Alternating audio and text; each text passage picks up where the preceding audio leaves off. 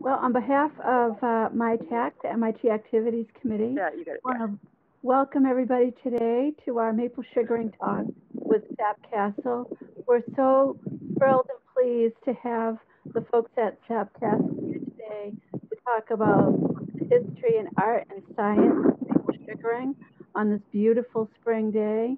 Um, and Jon Williams is here. Um, who'll talk about the um, uh, is made bottle.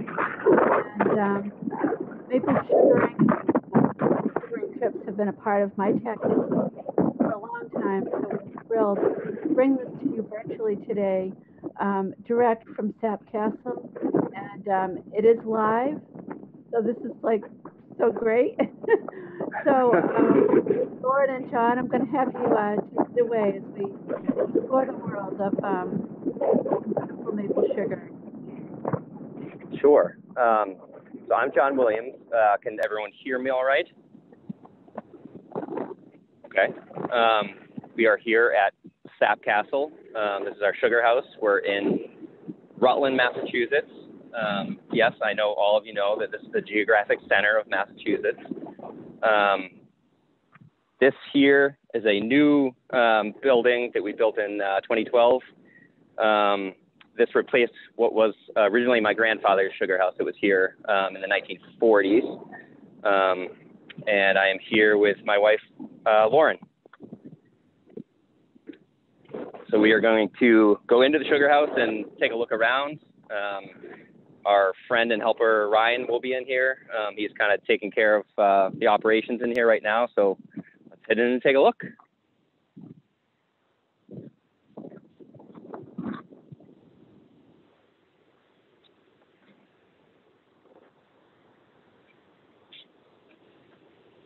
So here we've got our evaporator, and this is our friend Ryan over here in the corner. He's kind of uh, running the show at the moment. Um, he's making sure that wood is loaded in here and that everything's boiling properly and nothing is um, boiling over, uh, which is a good thing. Um, so we've got a uh, pretty big piece of equipment here that we will um, walk you through in a little bit. Um, but first, we've got a little bit of uh, a history for sugaring history on the farm here, um, and a little bit of uh, scientific information, and yeah.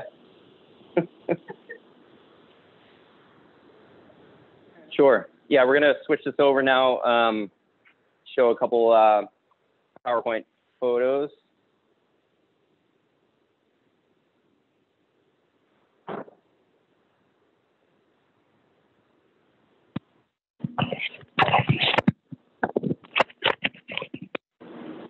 Okay, let me get this up and running here.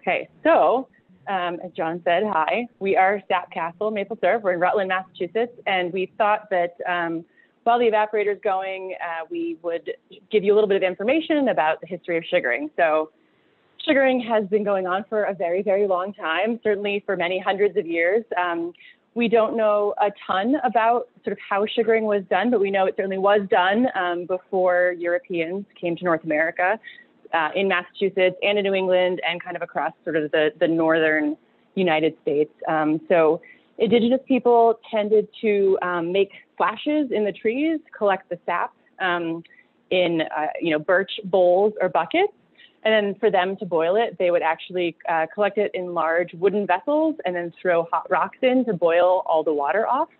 Um, they did not really make syrup. They made it into hard sugar so that they could um, keep it and use it for a sweetener throughout the year. They um, eventually, uh, you know, after uh, Europeans came over, they started making it um, similarly to how the European folks are making it in these large kettles. So they would collect it in the same way um, in wooden buckets with slashes in the trees, but then they would boil it over fires in large um, metal containers like this. And you can still go in certain places, they still do demonstrations of this, so you can kind of see how, how it's been done for hundreds of years. Um, we know that on our property, uh, which has been in Jon's family since the 40s.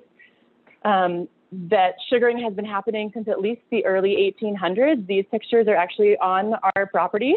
Um, this is the Smith family that was here maybe two two families before the Williamses, um, and they they sugared um, by also in that time period they might have used um, early spiles in trees, but they would collect it in wooden buckets.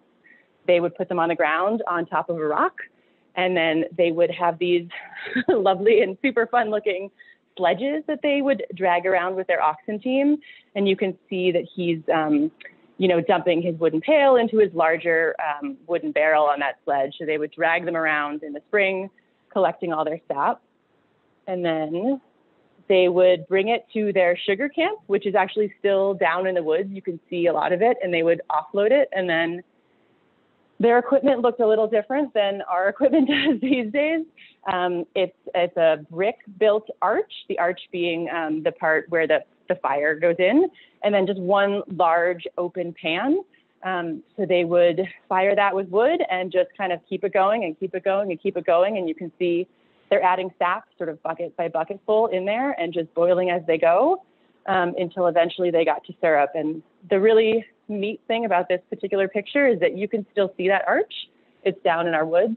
It, it looks a little different, but frankly, not not that different after you know 200 years.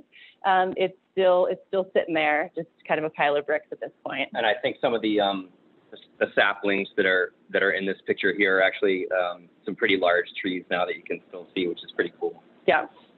So so we know that um, you know sugaring has been going on for a, a, a, minimum of 200 years on this property, probably significantly longer, as is the case for kind of all of New England. That's the end of our little history snippet, at least for now. Are there any questions at the moment?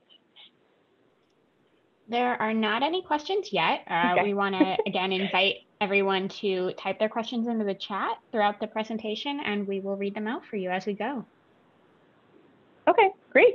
Well, um, I'm going to switch it back to Jon. He's going to show you a little more kind of history, but a bit of the um, equipment.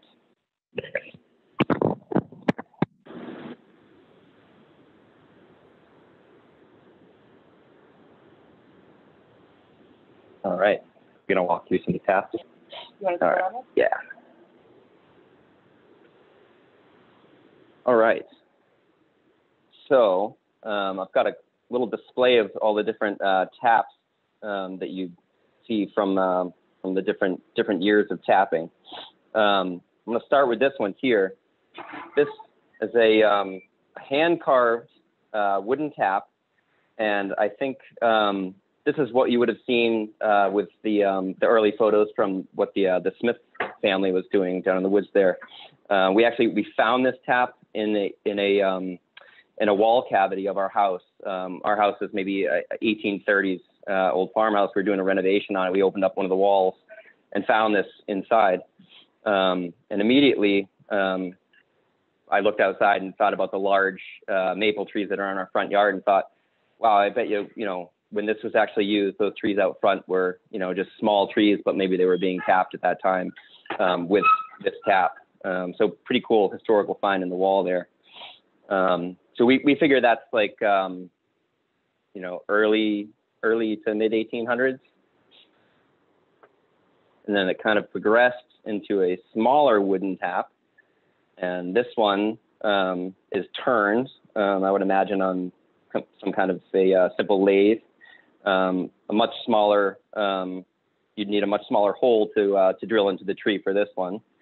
Um, but again, this one I believe would be drilled uh, down low on the tree and it would drip into a, um, a bucket that was set on a like a large stone at the base of the tree, and then that would be collected um, every day or day or so.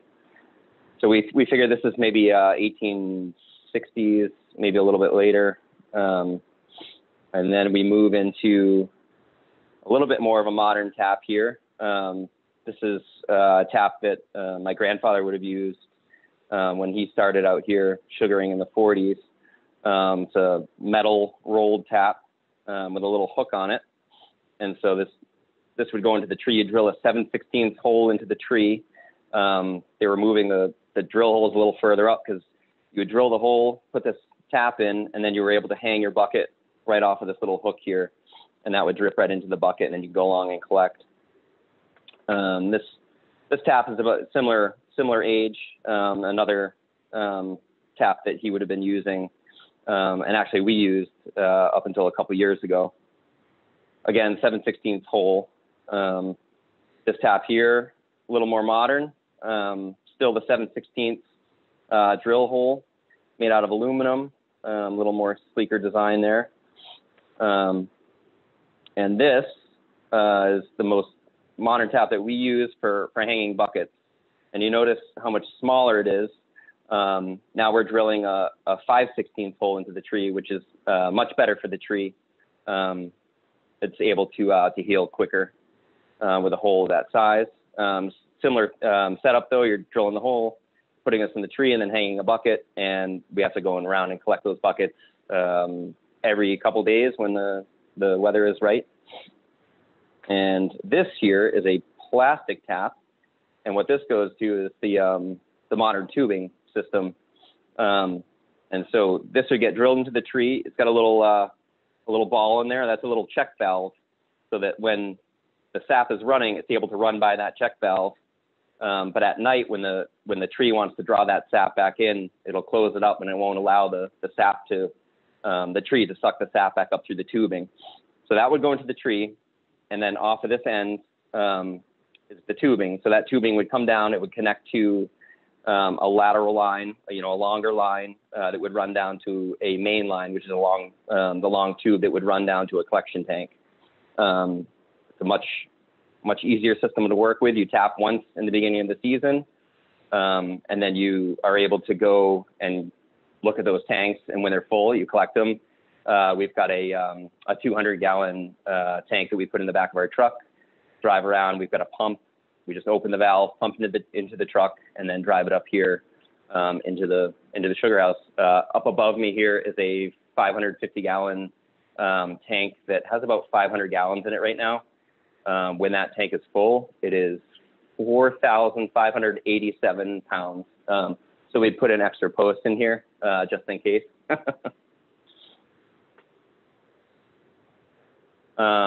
so I think I think that's it for this segment. Um, any any questions? No questions just yet. Oh, uh, Fufi okay. has a question. Why does the sap get sucked back into the tree at night? Okay, um, yeah, that's a good question.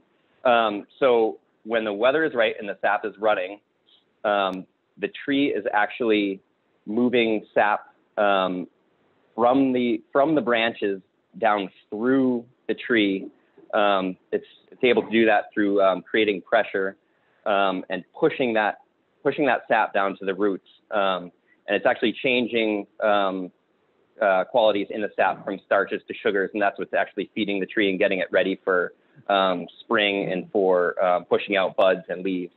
And so that's doing that during the day, and at night uh, when the temps drop, it's actually sucking the sap uh, back up from the roots, back up to the branches. Um, and when it's when it's doing that, um, it'll actually um, it can pull sap from those lines uh, back into the tree. Um, and I know that uh, from early on when they started doing the tubing, um, I know my uncle said that uh, when they first ran that tubing in the 60s, um, they had it all set up and they had a big tank set up and all the, the sap running down into it. They went and looked at it. They said, "Wow, that you know the tank is full. That that's great." And just left the uh, the tube down into the bottom of the tank. And they came back in the morning and the, the tank was empty. The trees had sucked up all their sap that they collected. So that, that was a, uh, a good lesson for them. What's that? Oh, okay, yeah. Um, so you can see the, uh, the good diagram there that um, kind of explains what I was just talking about there. Yeah, I think we'll, uh, we'll talk about that a little bit more too um, in a little bit. Perfect. All right, well, let's keep right. rolling for now. All right, so we're, um, we're going to take a little look at um, a little bit of the family history um, from here. I'm going to go around the other side. We can get set up without a, a bad glare here.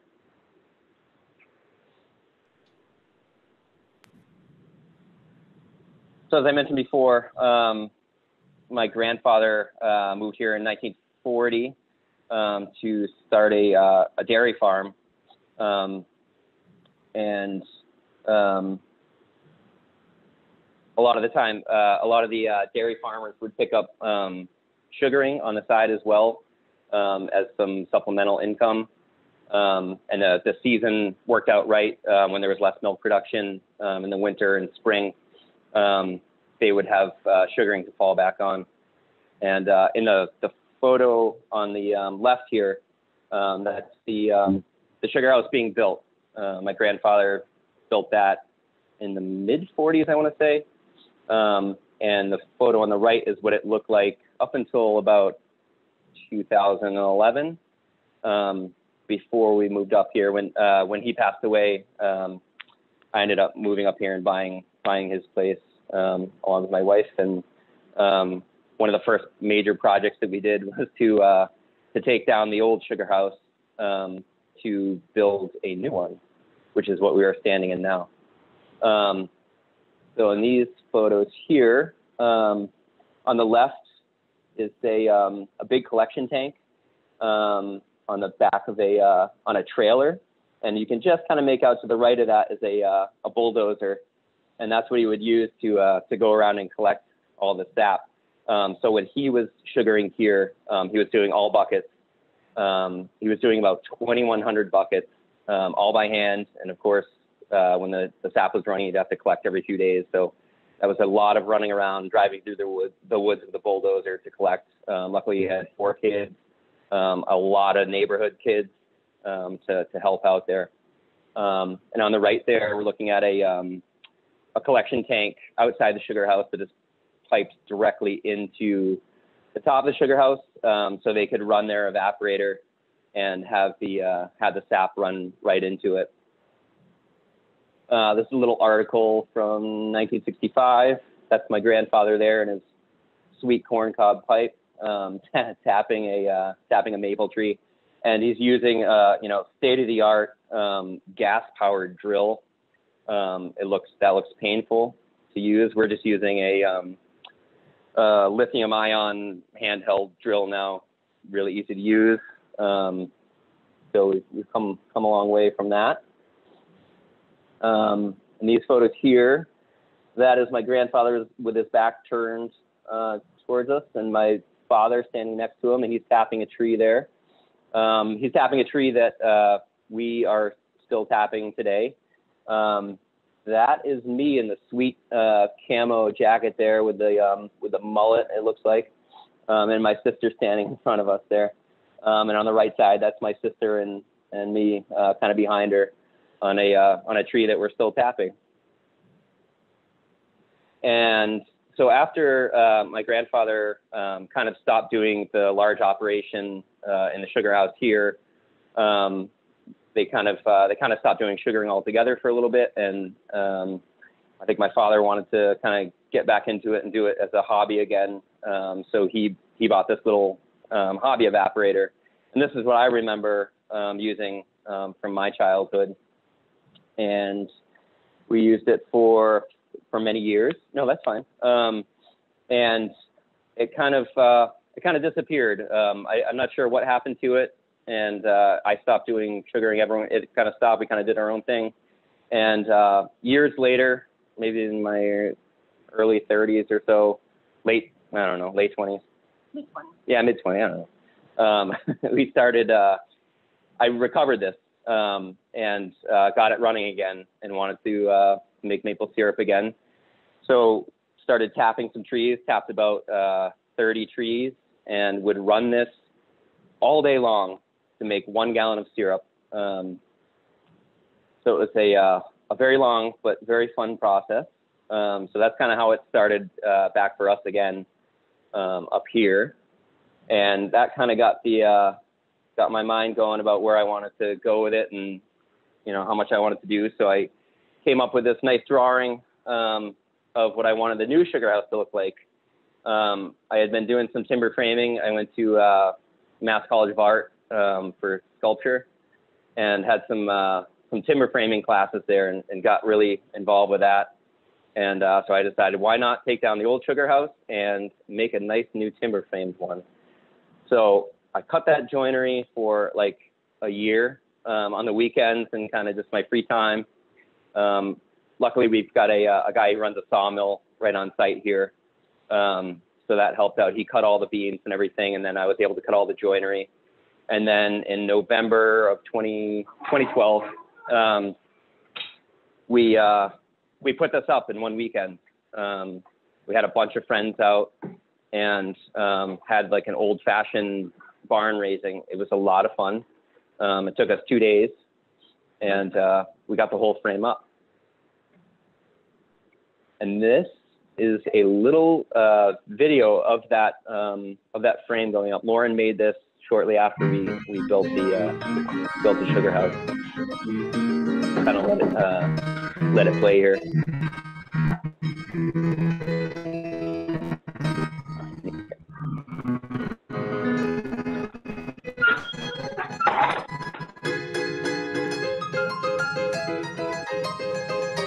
The bents are the um, the uh, the post and the, the beam running across it. That's that's what makes up a bent. And the music in the background is the Maple Leaf Rag, which is totally cool.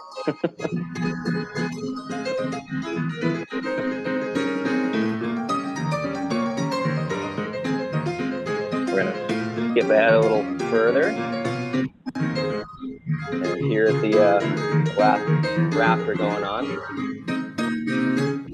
That was the end of the day Sunday, and we were uh, we were pretty whooped at that point. Now the bough that um, was mentioned there is a um, a spruce bough, and it's put up there as good luck for the, the um, after the, the timber frame is completed. There we are.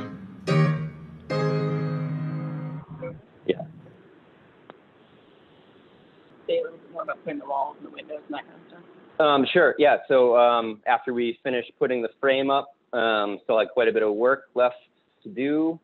Um, so we'll we'll go around and look at a few things in a little bit. Um, but I ended up building everything in here. Um, built all the windows, the doors, um, pretty much every every last bit of it. So it was kind of uh, labor of love, and it continues to be that. And sugaring does as well. Okay. Um, so we are going to check in here with Ryan and see what's happening. Hello. Here's Ryan. He's watching. He's watching a bunch of things here. So he's got to keep the um, the wood box here loaded with wood. Um, he's also watching a few different uh, thermometers here. Um, we've got a thermometer back here um, that's directly plumbed into the uh, to the stack, and he's watching the temperature on that. So we're about 919 degrees right now. That's a pretty good temp for everything to be running at. Um, so he's watching that, um, keeping an eye on sap levels. Um, everything on the whole system should be pretty much self-regulated. There are a series of float boxes that are regulating what's coming in, what's going out, um, but they can get hung up and get you in a real bind, um, which can be pretty scary because um, it doesn't take much to burn this equipment and um, and ruin it. So uh, we we try to keep an eye on everything. Um, yeah, sure. Um, yeah, the temp here that we keep looking at is um, is on the side of the front pan, and what we're what we're looking for. Um, there's a seven on the side of that thermometer, and once once this gauge gets up to that seven is when we're going to know we need to draw off into uh, into this box here, which is a, a, filter box. So we're we're a little ways off. I'd say we're um, we're maybe about five right now. So we'll we'll keep an eye on that. Ryan will keep an eye on that. I'll kind of explain more what that what that seven means um, in a little bit. Um,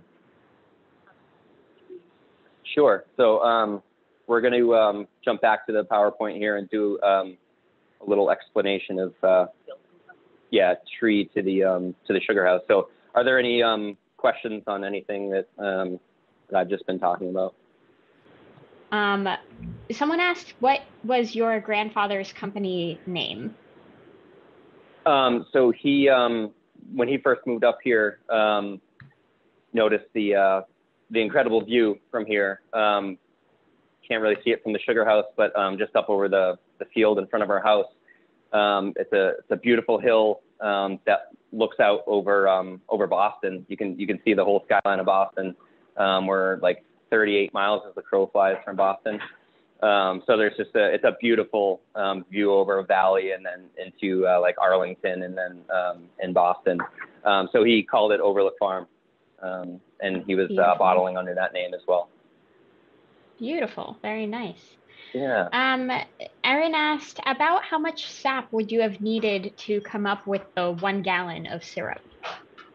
Um, so with the, um, the sap content changes a little bit um, in the in the sap that we're getting um, from day to day, depending on what the uh, the trees are producing. Um, normally, it's around two percent um, sugar concentration in the raw sap, which just looks like water coming right out of the tree. And um, at that rate, it's, it's around 40, 40 gallons to one gallon of syrup, uh, 42. And that's with, um, we tap mostly sugar maples. Um, you can tap other maples, uh, red maples and silver maples, um, but the sugar content is much lower in those, uh, around 1%, one, uh, one to one and a half percent. So the ratio is more of like 60 to one. Um, so we don't do a ton of of red maples just because you you end up boiling a lot more. Um, so you'd be in the sugar house a lot more. Um, a lot of the uh, the big operations do um, tap a lot of reds as well. Um, they just have uh, some really large equipment. Um, this uh, what we're boiling on now is a two by eight evaporator, it's two feet wide by eight feet long. Um, the original evaporator that was in the sugar house here, and my grandfather was doing it was four feet by 14 feet. Um, and he was doing a lot more taps. We're doing about 500 taps at, at the moment and uh, like I mentioned before, he's doing about 2,100 taps. Um, now the the technology on the equipment has come a long way too. Um, this machine is a lot more efficient than what he was boiling on. He, he could probably do about 150 gallons an hour, um, but we're we're pushing about 100 um, gallons an hour on this. So um, with that, we're able to uh, to draw off um, maybe about two gallons of syrup at a time you know, maybe, we maybe do one and a half gallons every 45 minutes or so, something like that. So, but again, it depends a little bit on um, the sap content. And we, uh, we keep a good log. We'll show you in a little bit, but we, um, we keep a good log um, of what we get in every day for gallons um, and the and the sugar content. Um, do you want me to show the hydrometer right now? Or? Sure. Yeah. Um, if I can find our little hydro. Oh, it's right in this uh, here. I'm going to uh, grab this. Sure. So this here is our little hydrometer cup, and we've got it filled up with sap right now. This is raw sap that we collected yesterday. We collected 700 gallons of sap yesterday. Um, and this is our little hydrometer that sits right in the cold sap. And it's reading about 2% right now, which is pretty, pretty average. That's a pretty good number. Um, oh, yeah, yeah, so here's the, uh, I don't know if we can see the numbers on there or not. It's looking kind of, uh, yeah, kind of tough to see, but um, yeah, that's what we're looking at every time. So we test that every time um, we bring it into the sugar house just so know, we know what we're up against. Um, and here's the, uh, here's the board I was talking about. Um, if we can see it. Um, so we started our first, um, first day, our first boil was February 27th. Uh, sap was a little low. The, uh, the sugar content was a little low, 1.8%. Um, we brought in 390 gallons. Um, as the season went on, the, the sugar went up a little bit. Uh, we got up to 2%, got all the way up to 2.4% on March 7th. Um, we had 375 gallons. And of course, yesterday, March 11th, when it was really warm out, um, the sap ran really well, uh, pretty good sugar percentage, and we got 700 gallons. So we were uh, we were pretty busy yesterday collecting. Side. Nice. Yeah. Along that note, Diane had asked uh, how many trees are tapped and about how many gallons of syrup are made during the season. Okay. Um, yeah. So we um, we tap, like I said, uh, about 500 about 500 taps. Um, that's not to say 500 trees because some trees get multiple right. taps. Um, a, a, tree's got to be at least 10 inches in diameter to take, to get one tap in there. Um, 18 inches to get two and then those those really big old trees can sometimes get up to three. We we normally only do two. On some of the really big trees, we'll do three. Um, and we've got we still are doing 200 buckets um, and then about 300 taps online. So um, we were still we were busy collecting buckets yesterday, and then all of our tanks were pretty full too, so we were scrambling around. And so um, with that, we're hoping to make um, hoping to make over 100 gallons this year. We um, we normally make about 100 gallons. Uh, the past seasons we've done about 450 taps. We bumped that up, so hoping to get you know 125 gallons would be great. Um, but that's a pretty uh, that's a pretty good season for us. And we're still considered a, a pretty small producer. Some of those big producers are making like 25,000 gallons of syrup, um, but uh, none of it's as good as ours. So. of course. Um, um, so do you want to? Yeah. Are there any more questions? Yeah, there's a couple. We can keep going. Um, oh, do the different um, types... actually, um, if I could interrupt real quick, we're um, we're coming right up on our number seven right here. Um, so it's kind of a uh, kind of an important part of the process. Um, it only happens, uh, you know, every half hour, 45 minutes. So um, we're going to draw this off. Um, we're going to draw it out of the uh, the front pan into our um, cone filter here, so it gets filtered as it comes out. A very important part of this is ringing the syrup bell, which I'm going to ask Ryan to uh, to ring the, ring the syrup bell. That's when we officially know we have syrup. There we go. So we're at seven now. I'm going to open this up. And there's our sweet syrup coming out of there. The temp on this thermometer is uh, holding at seven while that syrup is making its way through the pan. And as it's making its way through, it is pulling um, stuff that is not syrup from this rear pan and kind of pushing it along, chasing it out. We want to make sure we can get, um, you know, most of the syrup out into this uh, filter can here. And it'll be about, um, like I said, maybe a gallon and a half to two gallons that we'll draw out of here. And as we're pulling that out of that front pan, we're going to get some of that um, that sweet sap that's not quite syrup. Um, so we're going to actually have to take this once it's filtered, and we're going to have to um, finish it to make sure that everything that we have is syrup. And I will show you what we do with that when we close this up.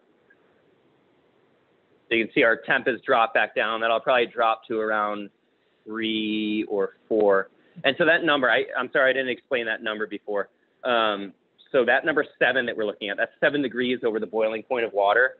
Um, so we, we say 219. Um, that, that varies a bit, as I'm sure everyone knows, um, with barometric pressure.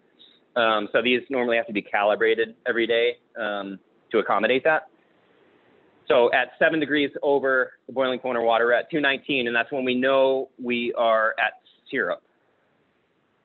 And I did not check it there, but we normally um, we normally are checking it with another hydrometer, similar to our SAP hydrometer. This is a syrup hydrometer.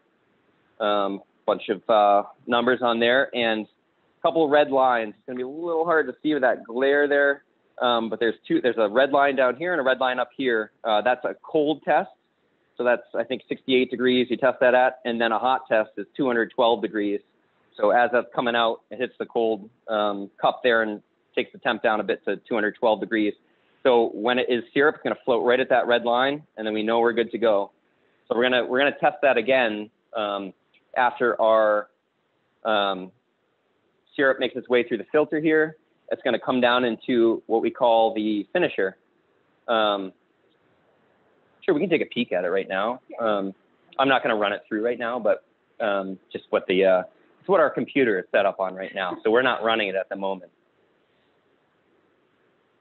So this is a, uh, finisher. Um, and what it's doing, it's, it's uh, propane fired.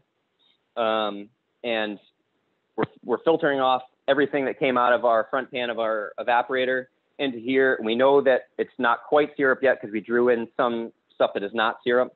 So we want to just make sure that everything in this container is then syrup. So we'll fire this back up again. Um, another thermometer right on here that's got the zero to seven. Um, and we're going to look for that seven again once we boil off enough of the uh, of the water to get it back to syrup. Once it is, we will test it again with our hydrometer and make sure that it's exactly syrup. Once it is, we'll shut the flame off. We'll put the lid back on and we will run it through another filter box. So I'll, I'll drop that one down here, open this guy up, we'll run it right through that filter, and then I'll bring it back over, set it back up here, and run it down through another filter into our canner, and that's where we'll put everything into bottles. another thermometer here. Um, we're going to watch that and make sure that we're at at least 180 degrees. So we'll have to heat that up again. That's a, a propane heater under there. And once we're at 180 or a little above, we can start canning it. And then we know that everything is shelf stable. Um, and it's good for a couple years unopened on the shelf. Um, but once you do open it and break that seal, um, you've got to put it in the refrigerator or it will mold. Um, if it ever does mold, the mold is harmless. Um, it can be scraped off and you can just cook down your syrup again and it's, uh, it's just as good as new. So there you go. Um, should we jump into the, uh, yeah, treat a, treat evaporator segment? Um, maybe we'll uh, answer any questions at the end on that. All right, I'm to put this down.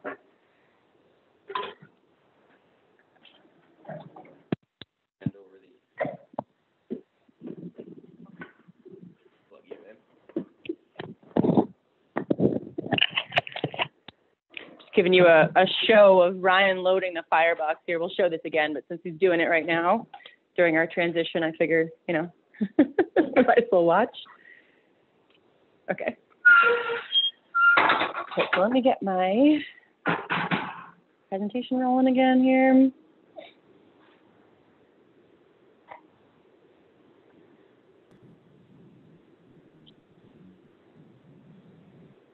I can get back to the, oh, good. We're already at the right spot. Okay, so um, I'm just going to walk through, you guys have already heard some of this, but sort of um, how it goes from the tree to the sugar house. So um, as Jon said, we do about 500 taps. Some are on buckets, some are on lines, um, but the, the process is the same for tapping them. Um, you drill a hole, and depending on the tap, you're either using a 5 16 or a 3 16 bit, um, but we just use, you know, a little handheld um, battery-powered drill, um, and sometimes our toddler helps out. And you drill in about an inch and a half and you make it actually kind of at slightly an angle, which we've had friends help us out and it, it's a little counterintuitive because they think the bucket's going to fall out, but you want it a little bit tilted so that you just make it a little bit easier for the sap to run out. So you drill your hole and then as Jon demonstrates on the right, you tap in your taps.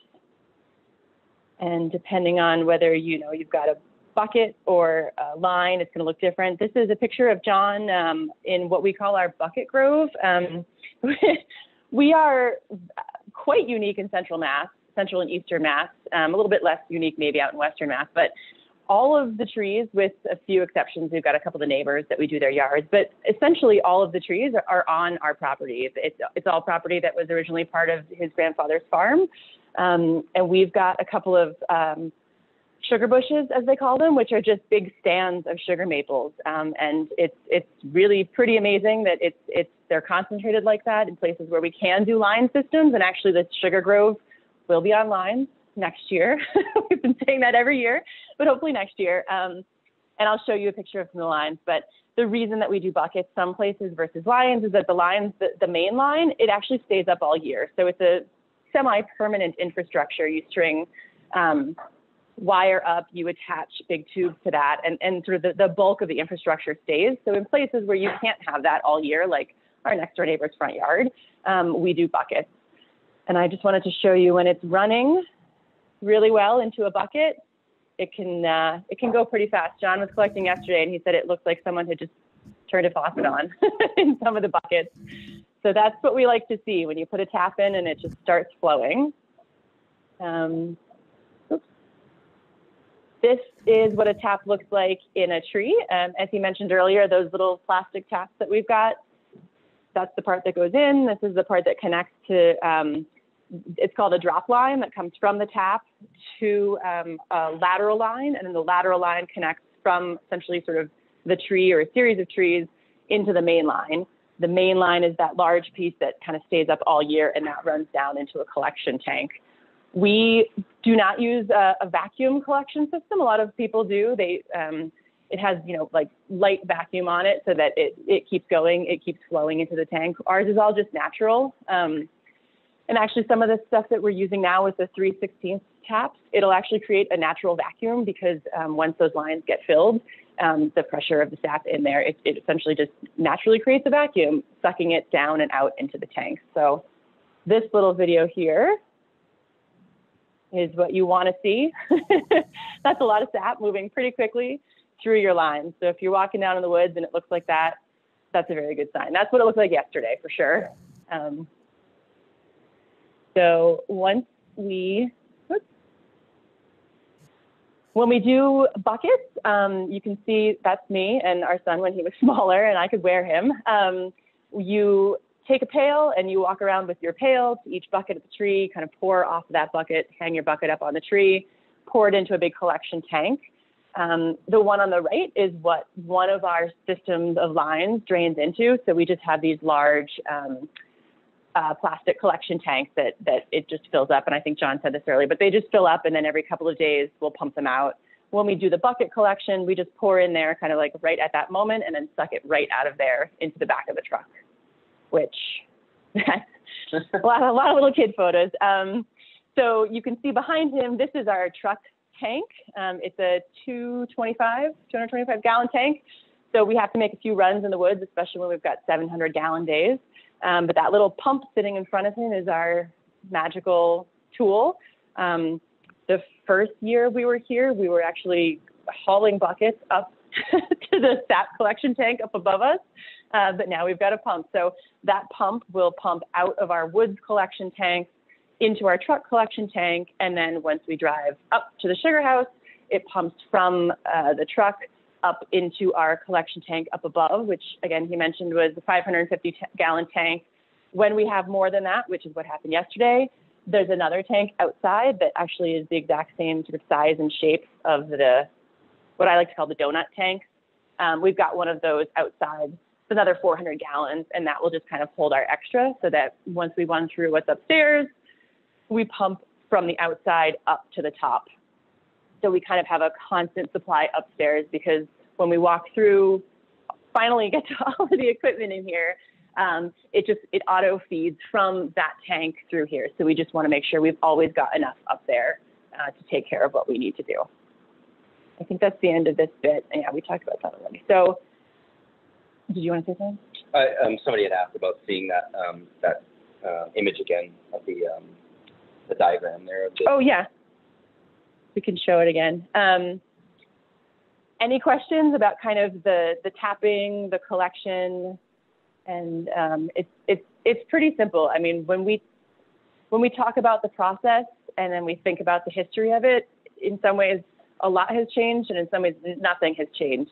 You make a hole in a tree, you collect what comes out, and then you cook it until you've got um, most of the water gone and you're left with sugar. And, you know, the tools have changed and the length of time that it takes has changed, but the process really is, is very simple. Um, the collection is, is probably the most simple out of all of it still. Great. Well, we definitely have some questions flowing in. Um, okay and again, because of timing, if you want to, you know, cut the questions at one point, continue the presentation, we'll come back to questions later as well. But um, for now, uh, we have a question. Do the different types of maple affect the color of the syrup? Um, so the, the, the color of the syrup is affected. Um, well, I'm probably going to let Jon answer this. The short answer is that the, the type of maple does not. Um, we get kind of all grades from what we call light to very dark, and I've actually got a picture of the grades that we could talk about now. Um, but we get all the different grades from sugar maple. So um, it has less to do with what kind of maple you're tapping and more to do with sort of where in the season you are and what the weather has been doing. Um, do you want to talk about grades? Jon, quickly, and I'll, I'll bring up that photo? Okay. Um, and we're going to show this up here? Yeah. Okay. Um, I'll show that right now. so what you're looking at now, um, we like to keep a um, kind of a record of what our different seasons look like. This is our season from last year, um, starting with our first um, boil um, and making our way to our last boil. Um, and these are all different um, grade changes throughout the season. And normally on a normal season, um, you'll usually start with um, kind of the, the lighter um, the lighter syrup, which is was called fancy. it's, it is not anymore. and you get all the way down to like a dark robust um, syrup. Um, usually end the end the season on something like that, but it, it changes from year to year, um, and it can kind of vary um, throughout the season based on um, temperature changes changes too. Um, so if you get kind of a, like a real cold spell, um, you can kind of reset um, and get back to like a, a lighter grade um, syrup. Um, there is a, a, flavor difference throughout all these as well. Um, the, the lighter syrup um, tends to have more of a delicate maple flavor um, and actually has naturally occurring uh, vanillins in it. so you get kind of like a, a vanilla caramel kind of flavor. and then you have like a medium grade, which is getting a little bit more of that maple, you know, that rich maple flavor. And then the darker stuff is where you're getting that like really robust um, maple flavor and you're losing some of that um, kind of vanilla tone there. Um, they're all very good. Um, people ask which one's better. It's all kind of personal preference. Um, it seems like it's changed over the years from what people want. Um, years ago, you know, people really went after the light stuff, but it seems to have kind of changed and people are really after the the the darker um, the darker grades. Part of the change in grades has to do with um, temperature, like I said, and um, what's happening with the sap and um, also the sugar content in the sap. Um, with the lower sugar content, um, you're you're cooking the the sap more, which is actually uh, caramelizing some of the sugars in it and darkening it. another piece of that puzzle is microbes within the sap um, that develop with the, the warmer temperatures. And what those microbes are doing, they're they're eating um, the sugars, the sucrose in the um, in the sap, and changing it into into different sugars. And it's those different sugars in the uh, evaporation process when you're cooking it. It's those other sugars that are um, actually caramelizing and changing the color of the uh, of the syrup. Um, so there, there's kind of a lot at play with um, with the different grades. Um, I'm sure there's some stuff there that I'm not mentioning or that I don't know about either. So, um, okay, cool. Um, so that's uh, that's kind of a, a brief seg segment on the uh, on the grading. And everything is a, uh, a, a grade A now. Um, there used to be a grade B. Um, there is no longer B. Everything is an A. Even the uh, the very dark stuff is grade A, dark, robust. Uh, yeah, strong taste. Very dark, strong taste. Um, so people who are looking for B will normally get um, either um, the. Yeah robust or very dark strong taste. So it's all yeah, the same syrup, so, different uh, different names. great. Uh, along the same line, the next question was what affects the sugar percentage of the sap?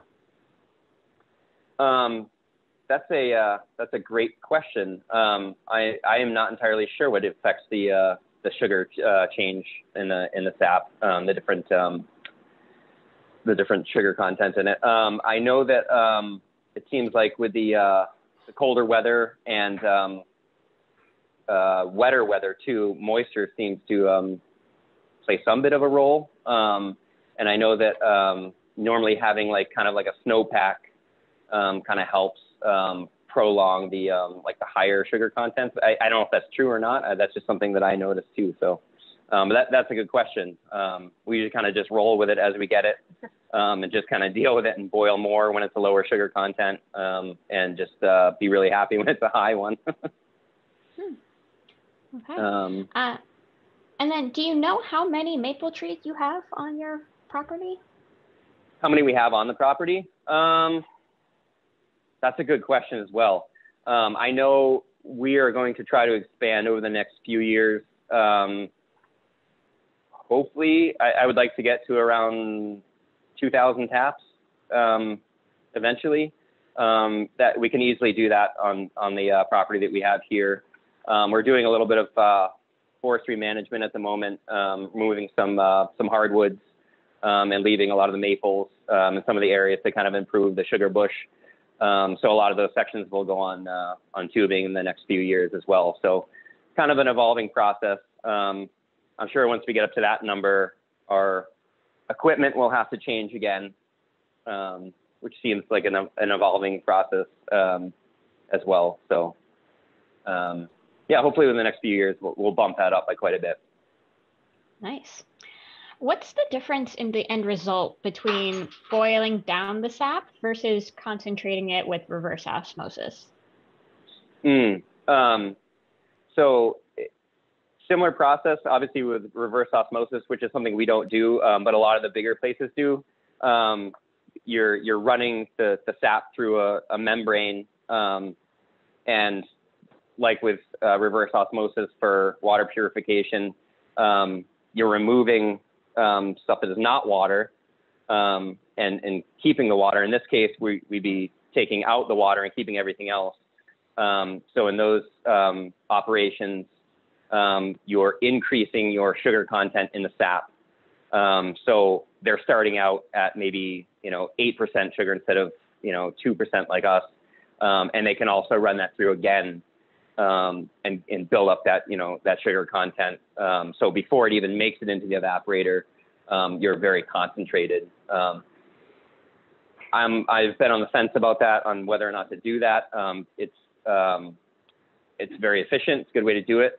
I feel like maybe you're losing something in that as well when you take take you, you know you take stuff out, pushing it through a, a membrane. Um, I've heard that you can taste the difference. I don't know if that's true or not, um, but we're not doing it at the moment. Um, one thing we are doing, um, we had just got new equipment this past season, um, which actually helps our efficiency as well and bumps our sugar content up before it gets into our um, our pan here. So do we want to? Yeah, I think we're gonna we're gonna walk through the whole kind of process here um, and just kind of give you um, an idea of you know the the sap to sap to syrup through the uh, the really fancy pans here is all they really are. Um, so we're gonna take a little walk back in the sugar house. We're gonna take a look upstairs. There's our big tank up there. That's a 550 gallon tank. Um, we started this morning with about 500 gallons. We haven't gone down that far because we're not really cranking this thing like we should be.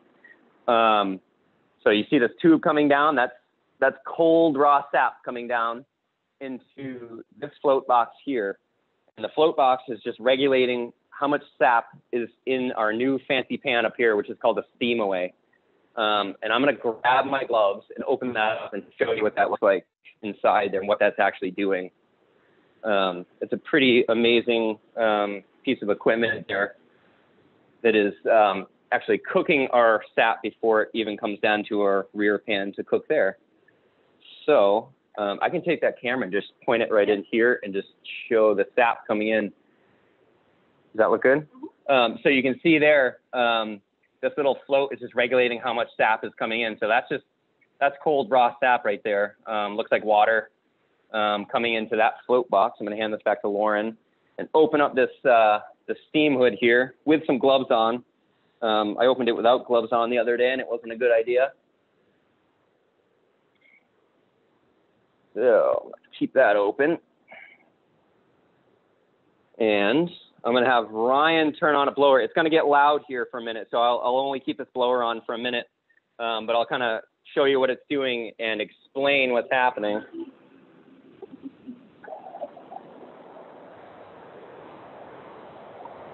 So there's the blower going.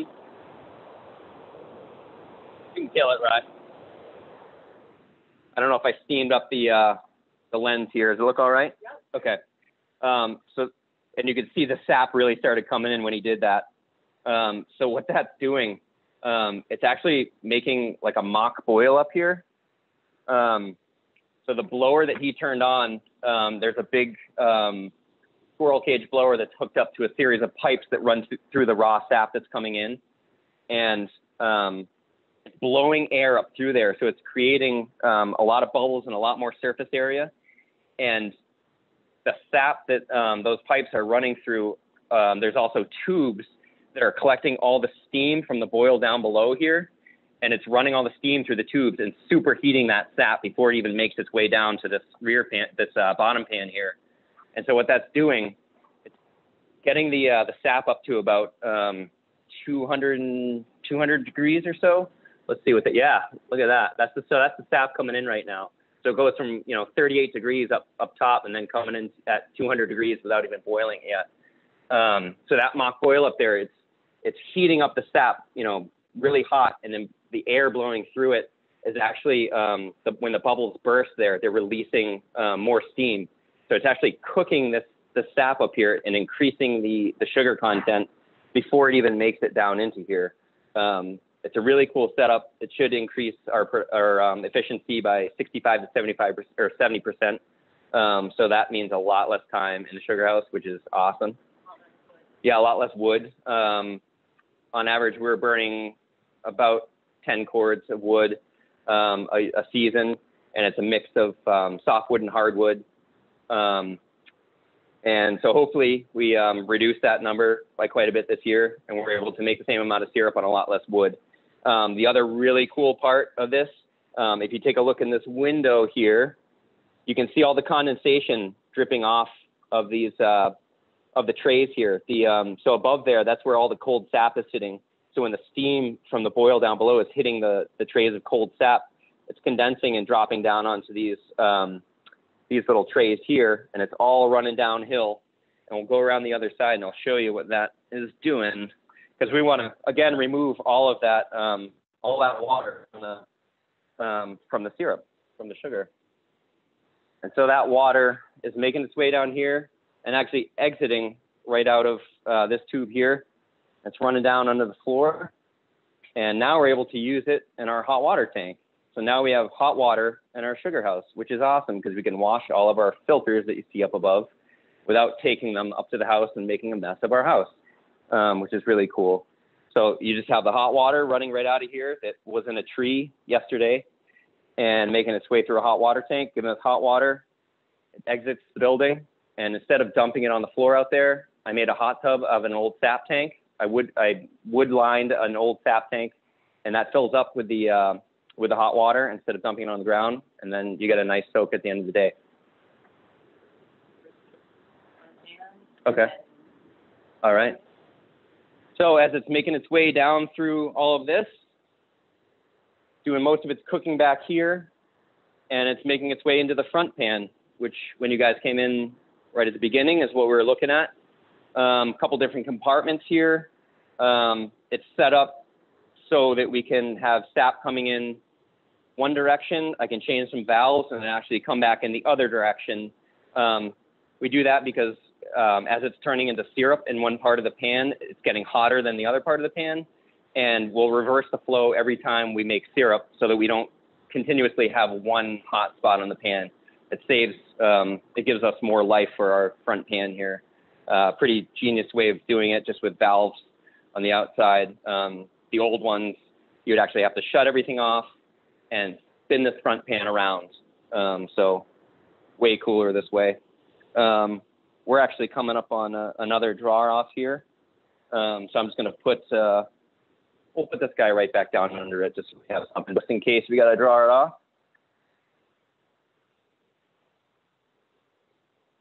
It's got, still got quite a bit in it. Um, we'll just run that into a into a pan, I guess. I'll just run it into this if, if we need to. and just have Ryan go on it. So we're just going to set it up with a bucket here because we, uh, we're in our system here. Um, so I just got to keep an eye on that um, while I'm talking just to make sure I draw it off.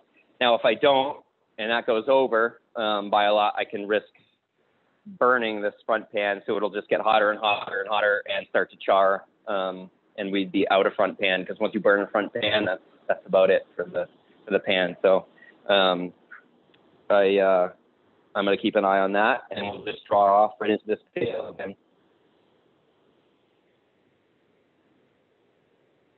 So we can uh, we can do another draw and then finish up our finish up the talk. Ring the bell, Ryan.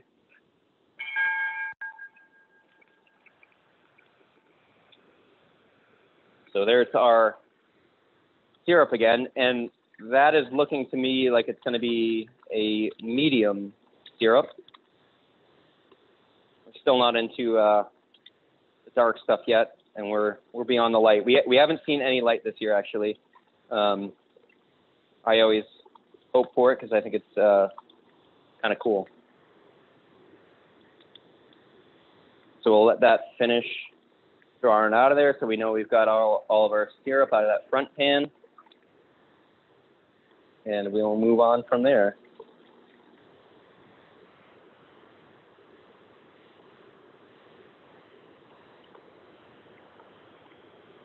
All right.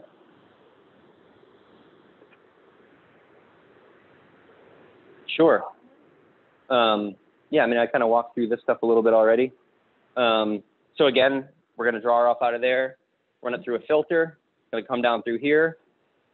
We're going to finish everything in here. Um, got maybe six gallons in there already.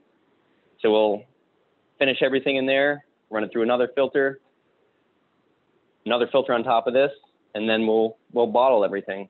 Um, we bottle everything in glass.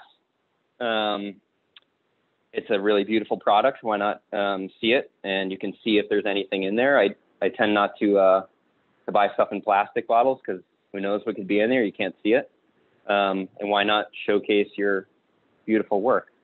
Um, so we do a series of uh, different sizes. We do um, little 1.7 ounce nips all the way up to um, half gallon um, half gallon jars. So um, all kind of different little shapes.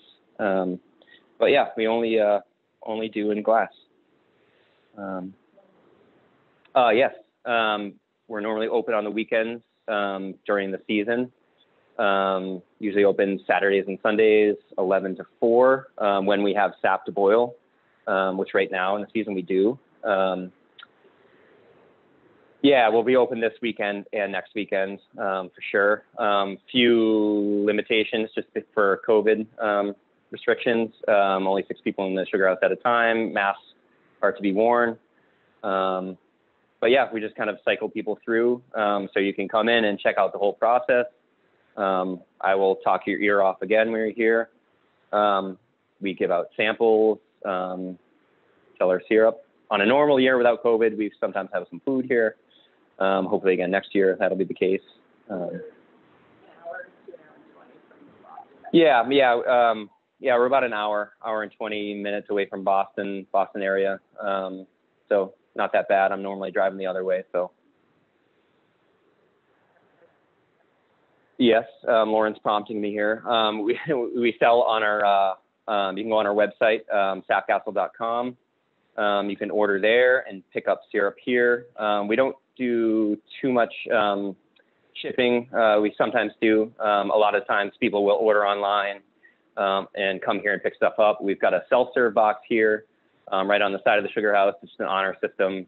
Um, we've had really good luck with that. We just keep that stocked most the year round when we have syrup. Um, so people can just come by, pick up what they need, drop money in the box. on uh, kind of more normal years, we're doing farmers markets as well. Um, Lauren's running around doing a bunch of those in the Metro West area. Um, and we also sell in a couple couple local um, stores here. Um, so think that's I think that's about it for us. Great. Um, open it up for for questions. Awesome. Uh, first of all, thank you guys for such a, a, very cool presentation and inside look. Seeing all of that happen in real time was pretty incredible. Um, and obviously, you guys are busy at the moment. So whenever you have to end the call, we'll end the call. But um, for those of you who have to jump off, we're going to keep rolling and the recording will keep rolling as well. So you'll have access to that at a later time. Um, for now, what are the ideal weather conditions for the sap to start flowing? And a follow up to that, does the sap run year round? Mm, okay. Um, so our season begins um, normally um, in February. We're kind of looking for um, temperatures um, that are in the upper 30s for an extended amount of time. Um, usually like a four or five day stretch. If we're seeing, you know, 38 degrees, 40 degrees in the forecast, um, we'll start to put taps in. Um, those are new tap holes every year. Um, you got to go out and drill those. obviously, the the ones from previous years are healing up. so you, you, tap the hole, go through the process that way.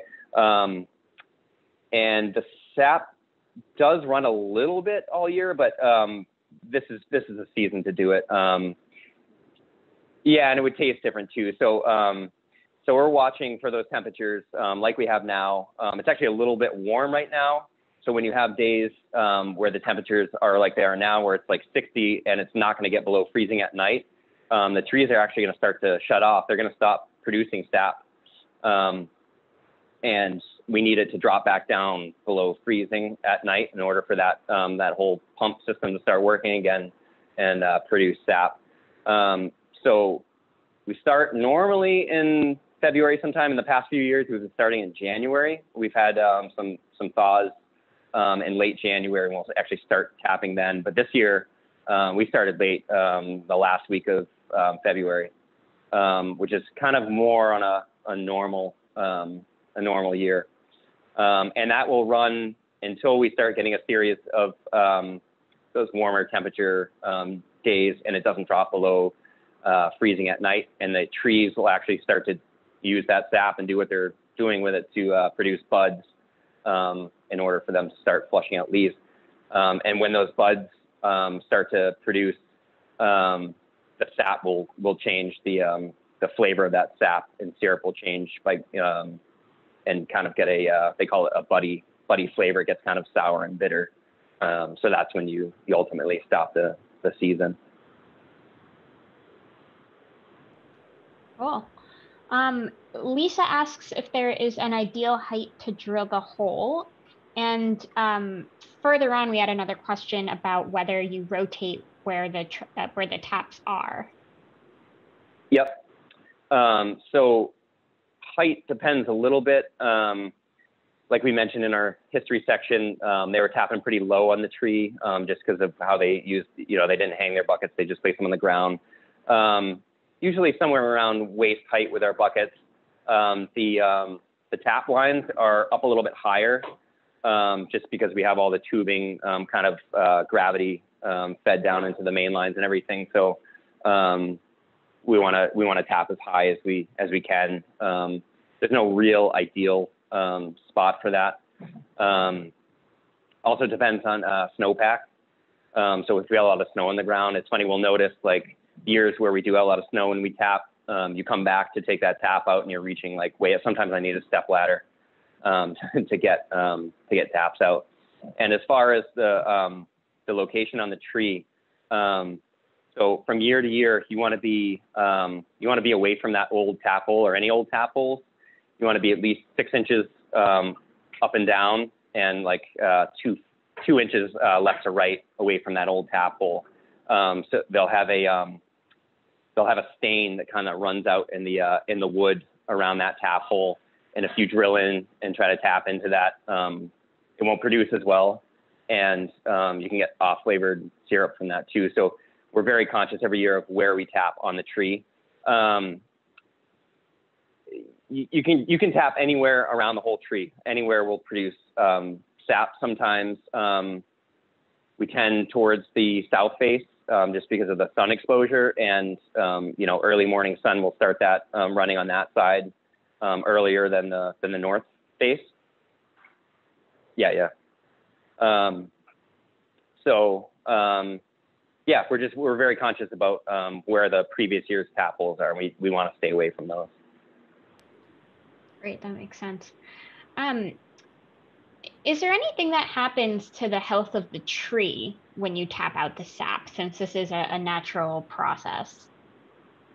Um, I, if you were to over tap the tree, um, you're, you're, putting a lot of strain on it, um, especially if there's uh, if there's already damage on the tree, if there are branches snapped off. Um, maybe about 10 years ago, we got a really bad ice storm here um, and a lot of uh, ice damage and actually we, we didn't tap that year. And I know a lot of the producers around here didn't either. So there was no season that year um, just to kind of let the trees uh, recover. But um, when you're doing it in small, um, you know, the, the small tap holes that we're putting in there um, don't harm the tree, um, you know, any more than what, um, you know, small, small damage in the, in the tree would do. Uh, they heal over pretty quickly, you know, within, uh, within a year or two, those holes close up. so no, no real damage from that. Yeah, yeah. Lauren just mentioned it's like um, it's like giving blood. It's a little uh, little blood draw out of the tree. Yeah, yeah. We give each tree a cookie after we're done. That's great. Um, do you ever have any problems with bears or other critters? Um, yes, squirrels. Um, squirrels can be a problem. Um, they um, they will chew through the tubing um, to get if you have uh, if there's any like residue of sugar on the inside. Um, we found that um, it's a lot. We find that on um, like particularly bad uh, winters um, where there isn't a ton of forage for them. They'll start going after the tubing. Haven't had an issue with bears on the tubing. We've had issues with bears up here on, on other stuff, our apple trees and our beehives, um, but nothing nothing with the uh, with the tubing yet. Um, and I haven't really seen any issues with deer or anything um, getting like tangled in lines or anything like that. They're pretty conscious of where they are and um, make their way through them pretty pretty well. Um, so yeah, that's that's probably I'd say squirrels are probably the biggest biggest problem for for critters. All right. Well, it looks like those are all of our questions for now. So unless you and Lauren have Okay. any final thoughts to add in, uh, as my dog grabs a squeaky toy. Um, thank you so much for this fant- fantastic presentation. Again, uh, giving a moment for any last minute questions to be added into the chat.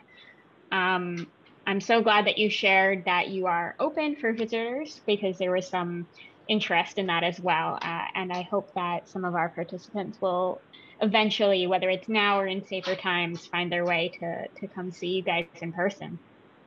Yeah, yeah, that would be great. Um, and obviously, um, we want to thank you guys for giving us the opportunity. Um, maybe I can get Lauren on here too. He can, Yeah, I wanted to show our, I just wanted to get this in the recording. oh yeah. there's there's our son there ringing the uh, ringing the syrup bell for a draw off there. Thank you again, Lauren and Jon, so much for such an amazing, fascinating talk today. Um, to see it live and in action, um, and to, to see your little one at the end ring the ring the bell, so great. I mean, honestly, so thank you so much for bringing um, maple sugaring to us in such a fascinating, beautiful way today. We really appreciate it. us, Facebook, whatever. Yeah, you're you're very welcome. Um, yeah, and uh, like Lauren just mentioned, um, feel free to send questions to um, to our uh, website or to Facebook um, as well for, for any other additional questions. If we missed anything, We did just have one last question come through, if you wanna. sure. Um, do you make toffee on the snow? Oh, good question. Um, we kept saying that we are going to do that this year, and it just moved further and further into the sea of toffee on the snow. Um, yeah, it, we've got a couple books that talk about it, and uh, we were like, we got to do that this year. We got to do it. Um, we didn't do it this year. Next year, we're going to do it. Maybe when um, you know things are a little more opened up and Yeah. people are, you know, here a little eating. more like, free and yeah and eating um, we're gonna do it because that's awesome um, yeah that's just uh, that syrup that's um, heated up to a higher temperature and um, then cooled on on snow and rolled into a little lollipop yeah we got to do that good question Very cool. next year, next year's the year. All right. Well, That's again, thank you guys so much. yeah you're very welcome um, thanks for having us